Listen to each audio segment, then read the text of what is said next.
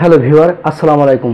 Bank দেউলিয়া আইন প্রকাশের পর অনেক গ্রাহক চিন্তিত বা সংশয়ে আছে যে কোন ব্যাংকে সঞ্চয় করবে বা কোন ব্যাংকে আমানত রাখবে বা কোন ব্যাংকে আমানত রাখবে না, এ বিষয়ে কিন্তু ব্যাপক সংশয়ে রয়েছে অনেকেই। তাই আমি এই ভিডিওতে আজকে আলোচনা করব যে কোন ব্যাংকে আমানত করা বা সঞ্চয় করা ভালো হবে। তাই এই ভিডিওতে আমি আলোচনা করব যে কোন কোন ব্যাংকে আমানত করা যেতে পারে বা ব্যাংকে টাকা রাখা যেতে পারে। ভিউয়ার ভিডিওটা যদি ভালো লাগে, তো ভিডিওতে একটা লাইক দিবেন এবং এখনও যারা আমার চ্যানেলটিকে সাবস্ক্রাইব করে নাই, চ্যানেলটিকে সাবস্ক্রাইব করে আমাকে উৎসাহিত করবেন। আমানতের সুরক্ষা দিতে পারছে না বাংলাদেশের বেশ কয়েকটি ব্যাংক তার কারণ হচ্ছে আমানতকারীর টাকা থেকে ব্যাংক গ্রাহকদের ঋণ দিয়ে থাকে। কোনো কোনো ক্ষেত্রে গ্রাহককে ঋণ দেওয়ার পর ওই ঋণ খেলাপি হয়ে যায়। খেলাপি ঋণের বিপরীতে প্রয়োজনীয় প্রভিশন বা সঞ্চিতি সংরক্ষণ করতে হয়।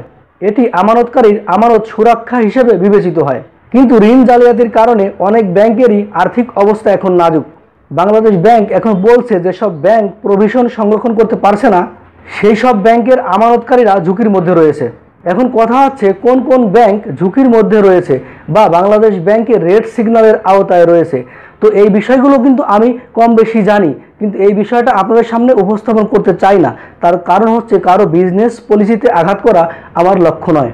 আমি যদি কারও বিজনেস পলিসিতে ব্যাঘাত ঘটাই, তাহলে তারা আমার উপরও চড়াও হতে পারে। সে কারণেই আপনারা একটু কষ্ট করে হলেও খোঁজ খবর নিয়ে জেনে নেবেন যে সরকারি রেড সিগন্যালে কোন কোন ব্যাংক রয়েছে। আমি এখন আপনাদেরকে ধারণা দিতে পারি যে কোন কোন ব্যাংকে রেড সিগন্যাল নাই বা কোন কোন ব্যাংক আর্থিক সংকটে নাই। তাহলেই আপনারা অনুমান করতে পারবেন যে কোন কোন ব্যাংক আর্থিক সংকটে রয়েছে। আমি এখন আপনাদের সামনে যে ব্যাংকগুলোর নাম উল্লেখ করব এই ব্যাংকগুলো বাংলাদেশ ব্যাংকের রেড সিগন্যালের আওতায় নাই। আপনারা বুঝে শুনে এসব ব্যাংকে লেনদেন করতে পারেন বা- এসব ব্যাংকে আপনারা আমানত সংরক্ষণ করতে পারেন। সেগুলো হচ্ছে Dutch Bangla Bank, Pubali Bank, BRAC Bank, Uttara Bank, Jamuna Bank, Premier Bank, Eastern Bank IFIC Bank, City Bank, Prime Bank, South East Bank One Bank. Bank Asia, NRB Bank, NCC Bank, মেঘনা Bank, Madhumati Bank, South East Bank Al Arafah Bank, ICB Bank ও Shahjalal bank. Exim bank সহ আরও কয়েকটি ছোট বড় bank রয়েছে যা বাংলাদেশ ব্যাংকের red সিগন্যালের আওতায় নেই।